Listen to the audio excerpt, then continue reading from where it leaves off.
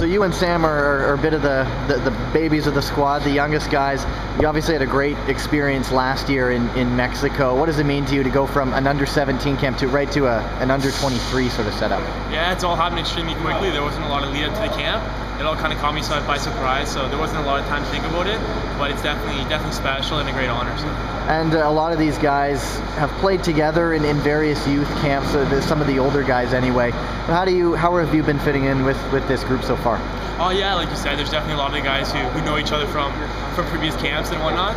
But I think they've been great to, to kind of welcome me in, and so far it's gone gone really well. I feel like I'm fitting in well with the squad. You are obviously one of the younger guys on the team, but you captained a U17 side. What are you What are you going to bring in terms of leadership out there? Are you going to be more of a, a listener to the more experienced guys? Yeah, I think definitely just a, a, listener. But I think even while being a listener, you can still set a good example for the, the rest of the players and do things properly. So although I won't be taking on too much of a, of a leadership role, I think I can still follow what, what they have to say and, and be respectful towards the, the more uh, more uh, outspoken guys on the team.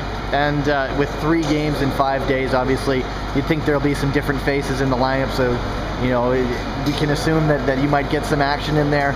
Um, what, what, are you hoping to, to bring out there and to, to contribute to, to the team? Uh, like you said, hopefully just contribute to the team. You know, I know my qualities. I think the, the team knows my qualities, and hopefully I can just bring that onto the field and, and help the team uh, do well and help the team get uh, get results. Thank you. Perfect. Thanks.